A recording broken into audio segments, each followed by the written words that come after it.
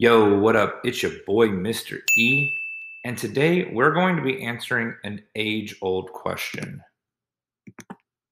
Does McDonald's sell burgers? So we're going to take a quick field trip and get to the bottom of this.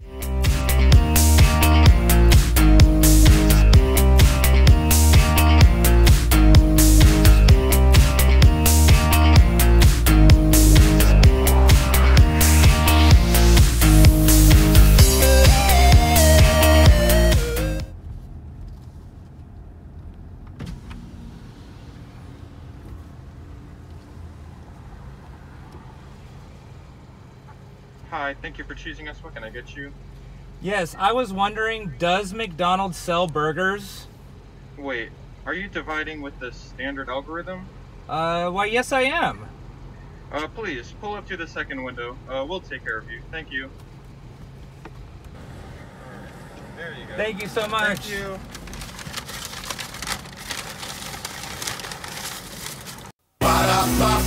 I'm loving it.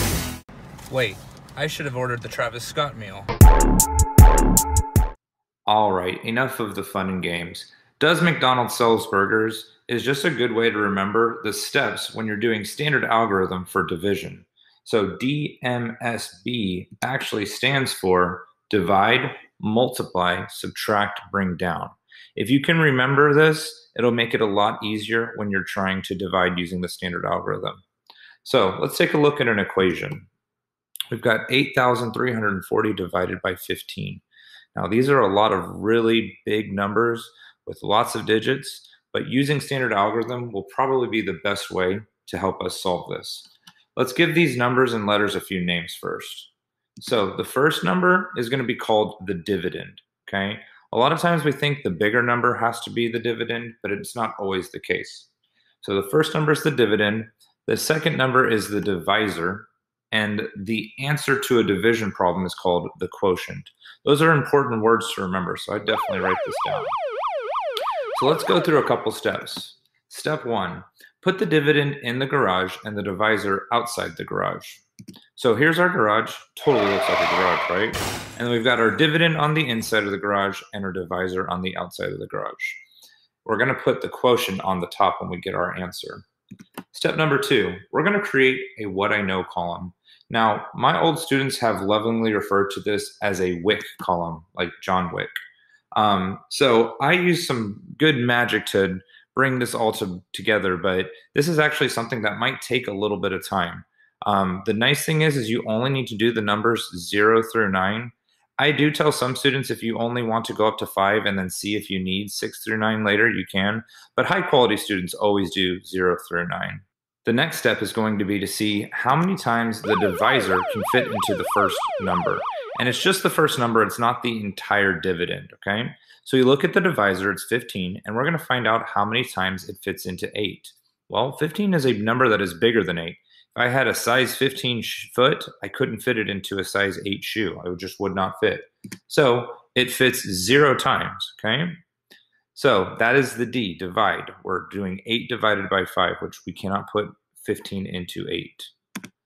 The next step is to multiply that number by the dividend. So we're going to multiply 0 times 15, which would give us 0, and that is the multiply step. Then the next step is subtract the numbers. So we're going to take 8 and 0 and we're going to subtract them, which of course will give us 8.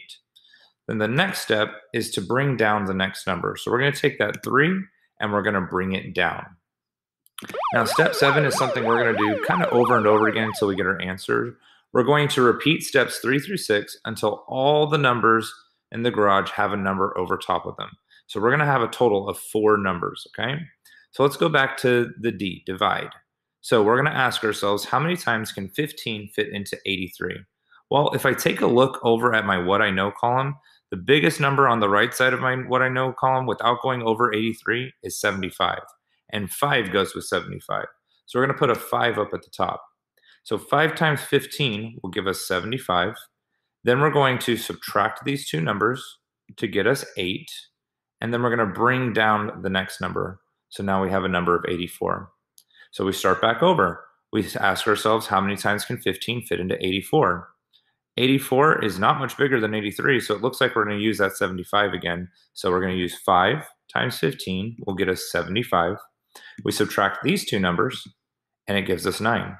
Then we bring down the 0. Oh, yeah. It's all coming together. So it looks like we're going to get a good answer because I see on the what I know column there is 90, and 6 times 15 will give us 90. So we'll put a 6 up at the top. We'll multiply 6 times 15 to give us 90. And then we're going to subtract these to get us 0. And if we have a 0 at the end, that usually means a good thing because we're not going to really have very many remainders when we're using division anymore. Um, we'll learn a little bit more why a little bit later in the year. But yeah, we really want to look to have a 0 at the end. I used to have an old student that instead of drawing a 0, he would draw a donut at the end and I really love that. So shout out to Carter. Uh, had him a couple years ago. This is something I still use to this day. So looks like we have a pretty good answer, but we're not done yet. We do have one more step, and that is step eight. Check answer with inverse operations. So the inverse of division would be multiplication. So we're going to take the quotient and the divisor. We're going to multiply those two numbers together, and what we should get is the dividend that we started with. Wow, that was really fast. Two plus two is four. Minus one, that's three. Quick maths. So if we follow all these steps, it might take us a little while, but we'll get a good answer to our division problem.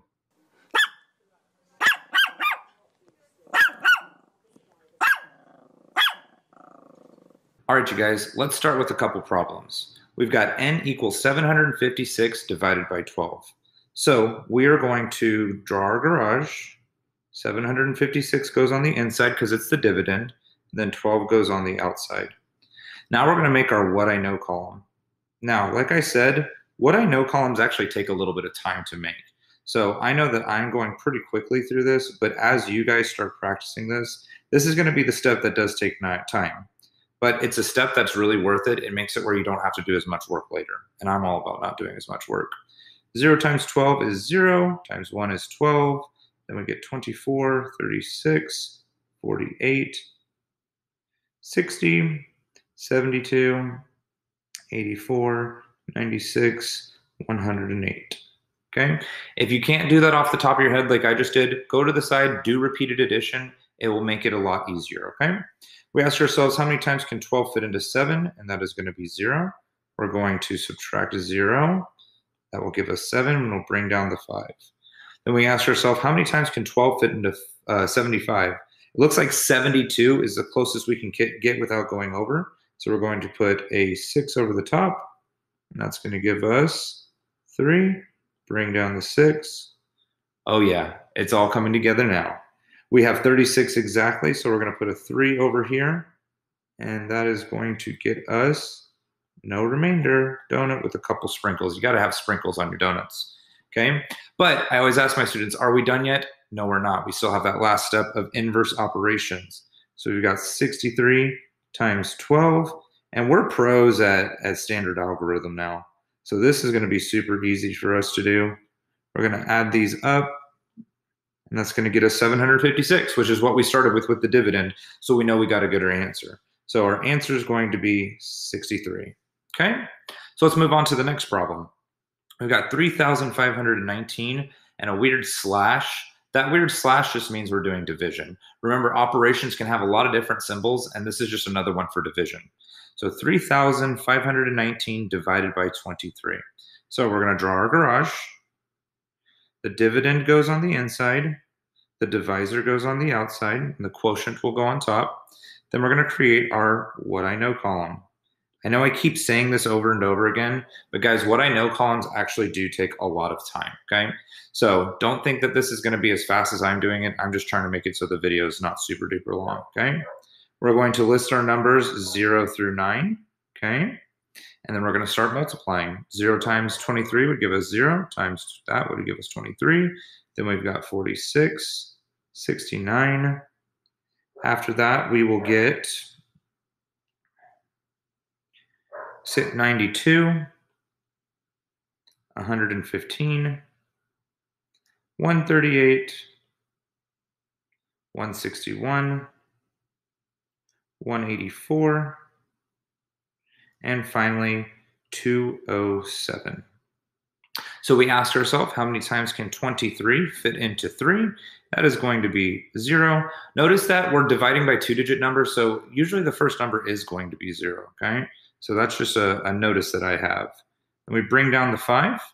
23 goes into 35 just once, so we do that, subtract. That's going to give us a 2. That's going to give us a 1.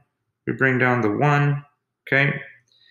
How many times can 23 fit into 121? Well, it looks like the closest number we're going to get to is 115. So we'll put a 5 up here and then subtract by 115. Borrow 1 from here. That'll give us a 6. Bring down the 9. Oh, yeah. It's all coming together now. We have a 69 in our what I know column. So we'll put that there. We'll subtract. Oh, I'm already getting ahead of myself because I'm getting so excited. And then we got our remainder of 0 put some sprinkles on that bad boy, and we got a good answer. But we do want to double check with inverse operations. So I'm going to put 153 times 23. So 3 times 3 is 9. 3 times 5 is 15. 3 times 1 is 3, plus 1 is 4. Placeholder 0. 2 times 3 is 6. 2 times 5 is 10. Placeholder, or put a 1 at the top. 2 times 1 is 1, plus 1 is 3. And then when we add those together, we are going to get 3,519. So we've got a correct answer. We feel good about that. 153 is going to be the quotient. Now, I will say division takes a lot of practice, guys. It's sometimes fifth graders' least favorite operation to use. But I know with a lot of hard work and practice, we can definitely get this down. I know there are other methods like the Big Seven that we like to use, um, and that's more than welcome to be used at this time. But really keep pushing yourself towards standard algorithm, and with more and more practice, you're going to be the best at it. All right. All right, you guys. We love you guys. We miss you, and we'll see you later. Bye.